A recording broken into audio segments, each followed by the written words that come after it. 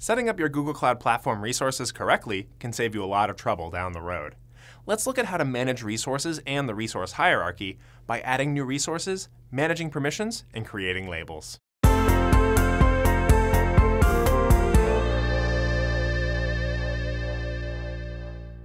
When setting up your resource hierarchy in the GCP console, you'll need to be assigned the right permissions, such as the organization administrator and folder creator roles.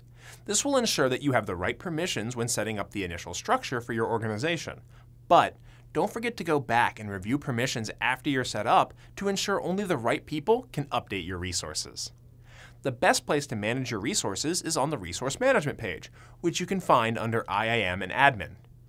This page shows all the resources in an organization and lets you manage them. Let's go through an example of bringing on a new line of business to an organization. We'll start by adding a folder directly under the organization called Department Y. To do this, we can just click the Create Folder button and type in Department Y. A folder can exist under the organization or under another folder based on your organization structure. For example, we could create production and development folders to help organize your projects further for each department. Since Department Y is a new line of business, we'll create it at the organization level. Just like folders, when we create a project, we can choose a single parent location, such as our new folder. Now that we have multiple lines of business, our shared infrastructure project should probably have its own folder. Let's create a new folder called Shared Infrastructure. After that, we can move the project under our new folder by using the Options menu.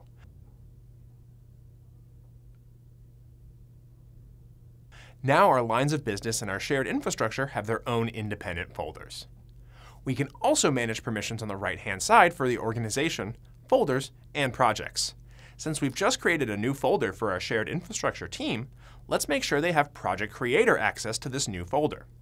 We can select the folder and click Add Member. Let's add the shared infra group and choose Project Creator.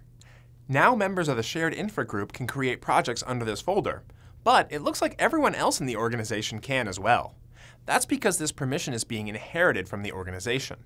We can use the toggle to see which permissions have been added directly or inherited. Since permissions are inherited, folders are also a good way to organize projects that have similar permissions requirements. Google recommends a least privilege approach, so you should only grant access to those who absolutely need it. Let's go ahead and remove the permission for everyone in the org to create projects by choosing the organization and removing that permission. Other best practices include using groups wherever possible and to test permission changes before making the actual change. There's a link below with more tips. Another way to organize resources is by adding labels, which are key value pairs that you can filter on. For example, it may make sense to label projects with a component we'll select Department X Prod and apply a new label called Component and set it to Dashboard. Other common uses for labels include distinguishing instances owned by different cost centers or teams. As we've shown, the Resource Management page is a great place to see what your organization looks like and to manage your resources. Check out the links below for more information.